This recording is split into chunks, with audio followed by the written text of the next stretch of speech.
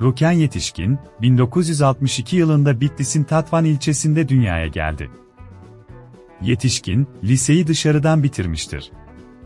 Siyasete Halkın Demokrasi Partisi'nde başladı.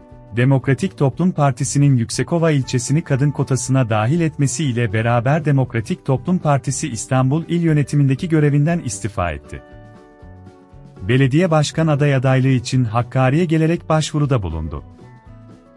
1994 yılından itibaren sırasıyla Halkın Demokrasi Partisi, DEHAP, DTH, Mekeme ve Barış Anneleri inisiyatifi içerisinde yer aldı. 1994 senesinde Batman Kapalı Cezaevinde 6 ay hapis yattı.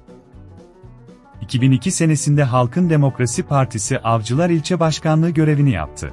2003 senesinde Halkın Demokrasi Partisi kapatılınca, onun yerine kurulan DEHAP'a katıldı ve DEHAP'ın İstanbul İl Teşkilatı'nda yer aldı.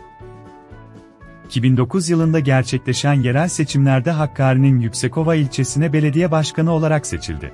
2004 senesinde Bağcılar'da yapılan bir etkinlikte PKK propagandası yaptığı iddia edilerek, 7 Aralık 2010 tarihinde 8 ay hapis cezası aldı ve belediye başkanlığı düştü. 2009 ve 2010 seneleri arasında kısa süreliğine Yüksekova Belediye Başkanlığı görevini yürüttü. 18 Temmuz 2011 tarihinde tahliye edilen yetişkin, 2012 senesinde Keceke operasyonları kapsamında tutuklanmıştır. Yetişkin evli ve iki çocuk annesidir.